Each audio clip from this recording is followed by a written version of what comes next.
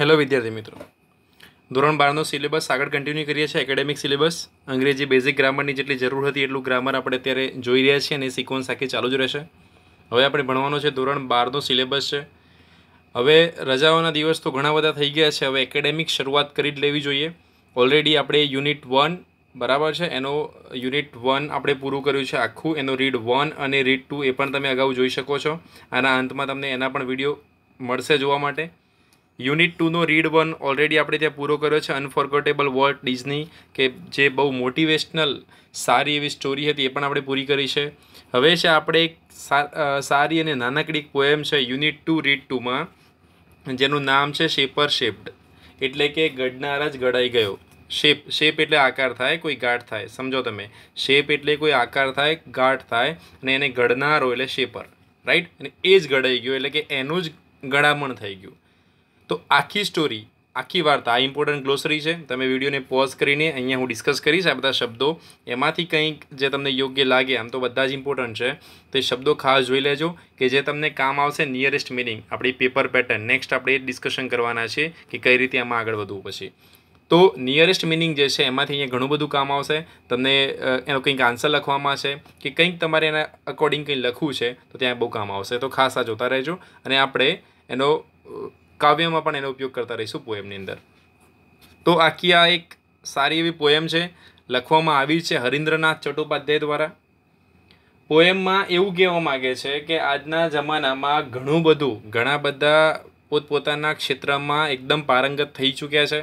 છે, માને છે પારંગત, પરંતુ મિત્રો, ઈશ્વરની વિરાટ શક્તિ સામે અને ભગવાન સામે જે ગર્વ, જે અભિમાન એક કહીએ છે કે માનવીનું કોઈ જ મહત્ત્વ ઈશ્વર સામે રહેતું નથી ત્યાં.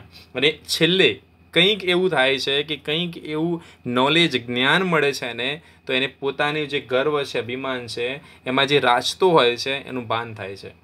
અને છેવટે એ ગિવન અપ કરી દે છે. તો ખાસ સ્ટોરી સમજજો. ચાર પેરેગ્રાફમાં છે, સર, નાના નાના પેરેગ્રાફ છે, તો ખાસ આની અંદર આપણે જોઈએ આગળ. શું કહે છે? તો ફર્સ્ટ આપણે એક આખો જે પોર્શન છે સમજીએ કે અહીંયાથી બધા આ રીતે ચાર ચારના ટુકડાઓમાં આપેલો છે, તો આ ખાસ સમજવાનો છે આપણે આટલો ભાગ. કે શું કહે છે? In days gone by I સમજો in days gone by I use to be તો જો પોએમની અંદર છે ને, તો એની જે ગ્રામેટિકલ છે સેન્ટેન્સ જે લખેલા છે બધા પ્રકાર કંઈક અલગ જ હશે. શું કહે છે? ઇન ડેઝ ગોન બાય એટલે કે જે દિવસો જતા રહ્યા છે એ, એટલે કે ભૂતકાળની વાત રહે છે ડેઝ ગોન એટલે કે વીતેલા દિવસોમાં, કે જે દિવસો જે જતા રહ્યા છે એ દિવસોમાં આઈ યુઝ ટુ બી એટલે કે મને આદત હતી અને હું હતો, શું હતો? તો a potter who would feel એટલે કે એને એવું લાગતું હતું, એના મનમાં એવું હતું, કે શું માન, એ માનતો હતો એવું, કે હિઝ ફિંગર કે હું જે પોટર હતો, હું જે એક કહેવાય ને, કે કુંભાર હતો, કુંભકાર હતો હું એવું માનતો હતો કે હિઝ ફિંગર એટલે કે એવું કહી શકાય કે my finger mould the yielding clay mould એટલે શું થશે અહીંયા? કે ફોર્મ અ શેપ એટલે કે કોઈ આકાર આપવો, ઘાટ આપવો. કે મારી જે ફિંગર જે છે, મારી જે આંગળીઓ છે, એ કોઈ પણ આકાર આપી શકે છે. કોને આકાર આપી શકે છે? The yielding clay yielding clay એટલે શું? કે પોચું, લચીલું. કે જેને આપણે તમે ઘાટ આપી શકો છો. જેને તમે ઘાટ આપી શકો, એવી જે માટી છે ને હું કોઈ પણ આકાર આપી શકું છું. એટલે કે એક પ્રકારનું પોતાના જે ફીડ છે, બરાબર? પોતાનું જે ક્ષેત્ર છે, ક્યાંક એક અહીંયા ગર્વ આવી ગયો છે. અને ક્યાં આપવાની વાત કરે છે કે to pattern on his wheels to pattern એટલે કે કોઈ પણ આ જે માટી છે, એને કોઈ પણ આકાર ભાત આપી શકું છું ઓન હિઝ વ્હીલ્સ એટલે કે જે ચાકડો છે, એના ઉપર કોઈ પણ ઘાટ આકાર આપી શકે છે. આ એનો ગર્વ હતો. કહી શકાય કે આ ક્યાંક એનું અભિમાન હતું. તો આટલા વાતમાં એ બતાવે છે કે પોએટ એના વીતેલા વર્ષોમાં શું હતો? તો એક પોટર હતો. શું માનતો હતો? તો એવું માનતો હતો કે હું કોઈ પણ ક્લે છે ને ક્લે, ક્લેને મારી આંગળીઓથી ચાકડા ઉપર વ્હીલ્સ ઉપર કોઈ પણ આકાર આપી શકું છું. પરંતુ કંઈક થાય છે, કંઈક એવો ટ્વિસ્ટ આવે છે. બટ નાવ હવે થ્રુ વિઝડમ લેટલી વોન જો તો શબ્દો કઈ રીતે મેચ કરે છે? Now through the wisdom lately won એટલે વિઝડમ લેટલી વોન એટલે કે પાછળથી મળેલું જ્ઞાન. બરાબર? પાછળથી જે જ્ઞાન મળ્યું, પાછળથી જે ડાપણ કે નોલેજ પ્રાપ્ત થયું, એનાથી, એના દ્વારા શું થયું? દેટ પ્રાઇડ હેઝ ડાઈડ અવે અને જે ગર્વ અભિમાન હતું, એ શું થયું? મરી ગયું. મરી ગયું ઇન ધ સેન્સ કે અટકી ગયું, ત્યાંથી ગર્વ અભિમાન કરવાનું સ્ટોપ થઈ ગયું ત્યાં. કયું અભિમાન હતું? ઓલરેડી આપણે જોઈ લીધા છે કે હું એક એવો પોર્ટર છું કે હું કોઈ પણ શેપ આપી શકું છું મારી આંગળીઓ, જે ભીની માટી છે એને કોઈ પણ આકાર આપી શકે છે. આ અભિમાન હતું, એ નીકળી ગયું. એ અટકી ગયું ત્યાં. ક્યાં, કેવી રીતે કેવી રીતે અટકી ગયું ત્યાં? તો પાછળથી લેટલી વોન જે વિઝડમ હતી, જે પાછળથી એને પ્રાપ્ત થઈ એના દ્વારા. And I have cease to be the potter શું કહે છે? And I have cease to be cease એટલે હવે નથી ગમતું, અટકી ગયું છે. એટલે મેં અટકાવી દીધું છે પોટર બનવાનું. હવે મેં અટકાઈ ગયો છે. એટલે મારા અંદર કે જે ઘડવૈયો હતો, જે કુંભાર હતો ને હવે અટકી ગયો છે. ત્યાં મટી ગયો છે. એન્ડ એન્ડ અહીંયા હેવ લખ્યું છે ને, એટલે આગળ માનવાનું આઈ, કેમ કે આ કવિતા છે. નહીં લખ્યા હોય અમુક શબ્દો. And I have learn to be the clay અને મેં શું શીખી લીધું છે? ક્લે બનવાનું. એટલે કે માટી બનવાનું મેં શીખી લીધું છે. સમજો ત્યાં. માટી બનવાનું શીખી લીધું. મેં શીખવાનું શું ચાલી ચાલુ કરી દીધું છે? તો માટી બનવાનું. એટલે કહેવા શું માગે છે કે હું જે માટીને, અભિમાન શું હતું કે જે માટી હતી એ માટીને અલગ અલગ ઘાટ આપવાનું હતું. એ જગ્યાએ મેં માટી બનવાનું જ યોગ્ય માન્યું છે. તો ગર્વ ઉતરી ગયો અને કંઈક અલગ માન્યું. એ જ રીતે આગળ કહે છે, શું કહે છે? હવે જુઓ, આખી વાક્ય રચનાઓ કંઈક અલગ હશે. ત્યાં શું હતું? અહીંયા કયા શબ્દો લખાયા હતા? ખાસ તમારે આ જોવાના છે. અને મિત્રો યાદ રાખજો, પાંચ માર્ક્સ આવે છે. પોએમમાંથી પાંચ માર્ક્સ આવે છે. અહીંયા લખ્યું હતું, ઇન ડેઝ ગોન બાય. અહીંયા શું લખ્યું છે? In other days. એટલે કે મારા વીતેલા દિવસોમાં, જૂના દિવસોમાં, ગત દિવસોમાં આઈ યુઝ ટુ બી જેમ પહેલાંમાં હતું I use to be a poet હું શું હતો? એક કવિ હતો. એ કવિ હતો થ્રુ હુઝ પેન કે જેની પેન દ્વારા થ્રુ હુઝ પેન કે જેની પેન દ્વારા ઇનનંબરેબલ સોંગ્સ વુડ કમ અસંખ્ય, ગણી ન શકાય એટલા ગીતો આવતા હતા, એટલા ગીતો રચાતા હતા. અને એ ગીતો શું કરતા હતા? ટુ વિન અને શેના માટે હતા? તો to win the hearts of men અને લોકોના હૃદય જીતવા માટે. એ ગીતો જે નીકળતા હતા એની પેનથી એનાથી લોકોના હૃદય જીતતો હતો.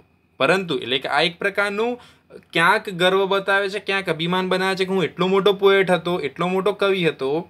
બરાબર છે? કે જેની કલમમાંથી, જેની પેનમાંથી એટલા બધા અસંખ્ય કાવ્યો ગીતો આવતા હતા કે હું લોકોના હૃદય જીતી લેતો હતો. બટ નાવ પણ હવે through the new got knowledge ત્યાં શું લખ્યું હતું? થ્રુ ધ વિઝડમ અહીંયા શું લખ્યું છે? ન્યૂ ગોટ નોલેજ મિનિંગ અને જે કહેવા માંગે છે બધું સેમ જ છે, માત્ર શબ્દો બદલેલા છે.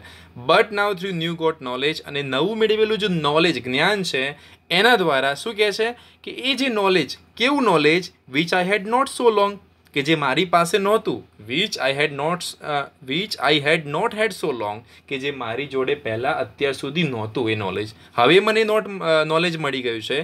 I have cease to be the poet હવે મેં પોએટ બનવાનું, એટલે કે મારો અંદરનો જે કવિ હતો, હું જે કવિ હતો, એ કવિ અત્યારે હું સ્ટોપ થઈ ગયો, અટકી ગયો, મટી ગયો. And I have learn to be the song અને મેં શું કર્યું? પોએટ બનવાનું બંધ કરી દીધું. અને શું બનવાનું? યોગ્ય માન્યું. અને શું શીખવાનું ચાલુ કર્યું? ધ સોંગ એટલે કે ગીત બનવાનું. એક કાવ્ય બનવાનું મેં શીખી લીધું છે. સમજો પહેલાં. પોટર બનવાનો અભિમાન હતો, તો એને માટી બનવાનું નક્કી કર્યું. પોએટ બનવાનો અભિમાન હતો, તેને શું બનવાનું નક્કી કર્યું? તો એક પોએમ એટલે કે કાવ્ય ગીત બનવાનું જ નક્કી કર્યું ત્યાં. હજી જોઈએ આગળ, બહુ ઇન્ટરેસ્ટિંગ છે, મજા આવશે એની અંદર. શું કહે છે? I have a fashioner of swords in days that now are gone જો વાક્યરચના કેટલી કેટલી બદલાઈ જાય તમે ખાલી ત્રીજીમાં વાક્યરચના બદલાઈ ગઈ છે. શું કહે છે? ઇન ડેઝ ગોન બાય અહીંયા કહે છે ઇન અધર ડેઝ અહીંયા કહે છે in days that now are gone this is English આનું નામ અંગ્રેજી, કે એક જ વાત, એક જ શબ્દ સમૂહ એને તમે કઈ અલગ અલગ રીતે રિપ્રેઝન્ટ કરો છો. અને એનું નામ એટલે જ કાવ્ય. એનું નામ એટલે જ કવિ. સમજો તમે ખાસ. અને આ આપણે રાઇમિંગ કરતાં શીખી જવાનું છે. I was a fashioner of swords કદાચ અહીંયા એ રીતે લખી શકાતું કે in other days I use to be a fashion of swords in days gone by I use to be a fashion of swords તો અહીંયા એવું લખ્યું છે. પહેલાં લખી દીધું છે કે I was a fashioner of swords swords એટલે કે તલવાર. હું એક સમયે કુશળ તલવાર ગળનાર હતો, ફેશનર એટલે કે ડિઝાઇનર. હું ડિઝાઇનર હતો. કોનો? તલવાર એટલે કે હું તલવાર ડિઝાઇન બનાવવા તલવાર જે છે એને ડિઝાઇન કરવાનું કામ કરતો હતો. ક્યારે? In days that now are gone એ દિવસો કે જે હવે નથી હવે નથી રહ્યા, એ દિવસો જતા રહ્યા. નાવ આર ગોન એટલે કે હવે એ દિવસો જતા રહ્યા છે. તો આ ખાસ તમારે સમજવાનું છે. લખતી વખતે ખૂબ જ કામ આવશે તમારે. ડિસ્ક્રિપ્ટિવ જ્યારે તમે લખો છો ત્યારે. શું કહે છે? કે એ તલવારથી શું થતું હતું? Which on hundred battle field કે જે તલવારો હતી એ સેંકડો યુદ્ધભૂમિ પર. તલવારનું કામ શું હોય? યુદ્ધમાં જ. અત્યારે જોઈ રહ્યા છે, રામાયણ મહાભારતમાં તલવારોનું કામ શું? તો બેટલફિલ્ડ એટલે કે યુદ્ધમાં જવાનું યુદ્ધ ભૂમિ પર તમે વિજય પ્રાપ્ત કરવા માટે જાઓ છો. તો મેં એવી એવી તલવારો ડિઝાઇન કરી છે કે જે સેંકડો મતલબ સો યુદ્ધ ભૂમિઓમાં ગઈ છે અને ગ્લિટર્ડ શું કહે છે? Glitter and gleam and shone એટલે કે એવું કહે છે કે એ જે તલવારો હતી, એ યુદ્ધ ભૂમિમાં ગયા છે. યોદ્ધાઓએ તલવારો વડે યુદ્ધ લડ્યા છે. એ તલવારો એમાં ચમકી છે, ઝબકી છે. અને જે તે જીત્યા છે, એ જીતવાનું કારણ બની છે. એટલે કે હું એવી ડિઝા, તલવારો ડિઝાઇન કરતો હતો. કાઇન્ડ ઓફ પ્રાઇડ આ એક પ્રકારનો ગર્વ જ હતો, એક પ્રકારનો અભિમાન હતો. But but but but now that I am brimming with હવે શું થાય છે? પણ હવે મારામાં આ બધું છલકાઈ રહ્યું છે. બ્રિમિંગ વિથ શું કહે છે? કે હવે મારામાંથી આ બધું બહાર આવી રહ્યું છે. છલકાઈ રહ્યું છે. The silence of the low શું? કે જે શાંતિ હતી ને તલવારોનું કામ શું હતું? યુદ્ધભૂમિમાં હાહાકાર મચાવવાનું. હવે મારામાંથી શાંતિ જે છે, ભગવાનની ભેટ સ્વરૂપે એ છલકાઈ રહી છે. And I have cease to be sword maker અને હવે મેં તલવારોને ડિઝાઇન કરનારો, એટલે કે તલવારોનો ડિઝાઇનર હવે મારી અંદરથી મટી ગયો છે, અટકી ગયો છે સ્ટોપ થઈ ગયો છે. અને શું હવે? And I have learn to be the sword અને મેં હવે જાતે જ તલવાર બનવાનું નક્કી કરી દીધું છે. સી હાઉ બ્યુટીફુલ એક લેવલ સુધી પહોંચી જાઓ છો. એક લેવલ સુધી પહોંચ્યા બાદ ફરીથી એવું કંઈક થાય છે, કુદરતમાં એવું કંઈક છે એ તમને થાય છે ને તમે તમારું જે શાંતિ પ્રત્યે જઈ રહ્યા છો. બરાબર છે? લેટ સી લાસ્ટ પેરેગ્રાફ શું કહે છે આપણને? ઇન બાયગોન ટાઈમ્સ અહીંયા પણ કંઈક અલગ, દેખો, ચારે ચાર જે અહીંયા આપ્યા છે, એ ચારે ચારની અંદર કંઈક વાક્ય રચના અલગ અલગ છે. પણ જોવાનું એ છે કે ચારે ચારનો મિનિંગ સેમ જ છે. ઇન બાયગોન ટાઈમ્સ ત્યાં લખ્યું છે in bygone days now the days are gone એવું પણ લખ્યું છે. In bygone times I use to be a dreamer હું શું હતો? તો ડ્રીમર હતો. ડ્રીમ એટલે સપનું થાય. ડ્રીમર એટલે સ્વપ્ન, સ્વપ્નમાં રાચનારો. કે જે હંમેશા સપના જ જુએ છે. ઓકે હુ વુડ હલ એટલે કે શું કહે છે? હુ વુડ હલ કે એવું એવું મતલબ રાચતો રહેતો હતો અને એવું ફેલાવતો હતો. એવું ડ્રીમ કરતો હતો. શું ડ્રીમ કરતો હતો? કે on every side an insolence શું કહે છે? On every side an insolence કે એવું કહે છે કે મારો જે છે ને, કે મારી બધી જ આજુબાજુમાં, બધું જ ઘમંડ, એવો મારામાં એક અભિમાન છે, ઘમંડ છે, ગર્વ, એવો સતત આજુબાજુ મારા ઉભરાતો રહેતો હતો કે શું કહે છે? Of emerald and pearl emerald and pearl એટલે કે નીલમ અને મોતી. એટલે શું કહે છે? કે હું નીલમ અને મોતીઓનો ખૂબ બહુ રિચેસ્ટ એટલે કે બહુ ધનિક માલિક છું અને આ જે ગમન છે, મારી આજુબાજુ સતત ને સતત રાચતો રહેતો હતો, એ હું સ્વપ્નોમાં રાચતો રહેતો હતો. બટ હવે નાવ ધેટ આઈ એમ નીલિંગ હવે શું કહે છે? પણ હવે આઈ એમ નીલિંગની એટલે થાય ઘૂંટણ. બરાબર છે? નીલિંગ એટલે કે હવે હું ઘૂંટણીએ પડી જાઉં છું. કોના? કોના ઘૂંટણીએ પડવાનું છે? At the feet of the supreme એટલે કોના ઘૂંટણીએ પડો છે? કોના તમે પગે પડો છો at the feet of the supreme એટલે કે સર્વશક્તિમાન ઓલ માઇટી જે ભગવાન છે, ઈશ્વર છે, એમના હું ઘૂંટણીએ પડી જાઉં છું. એ સર્વશક્તિમાનના ચરણોમાં, એમના ચરણોમાં હું ઘૂંટણીએ પડી જાઉં છું and I have cease to be dreamer અને હવેથી હું એ બધા સ્વપ્નમાં જે રાચનારો હતો એ અહીંયા એક કામ હું અટકાવી દઉં છું. હું અટકી જાઉં છું ત્યાં. અને હવે શું? And I have learn to be the dream અને હવે મેં ખુદ એક સ્વપ્ન બનવાનું જ વિચારી લીધું છે. પોટરે ક્લે બનવાનું વિચાર્યું સ્વોર્ડ મેકરે સ્વોર્ડ બનવાનું વિચાર્યું પોએટે સોંગ બનવાનું વિચાર્યું, અને ડ્રીમરે એ ખુદ પોતે જાતે જ સ્વપ્ન બનવાનું વિચારે છે. સો ઇન્ટરેસ્ટિંગ અને આ એક જે પોએમ છે, એમાંથી, આ સ્ટાંજામાંથી એક્ઝામની અંદર પ્રશ્નો આવે છે. જો તમે એને વ્યવસ્થિત સમજી લીધું હશે, તો એ કદાચ પાંચ માર્ક્સ તમારા માટે લેવા બહુ જ ઇઝી થઈ જશે અને તમારા સ્કોરિંગમાં પાંચ માર્ક્સનો ફાયદો થશે. Thank you so very much friends for watching this video stay connected with us stay healthy અને એકવાર જરૂરથી એનું રિવિઝન કરી લેજો. અને આપણે ધોરણ બારનું એકેડેમિક સિલેબસ આમને આમ આગળ વધારીશું. Thank you so very much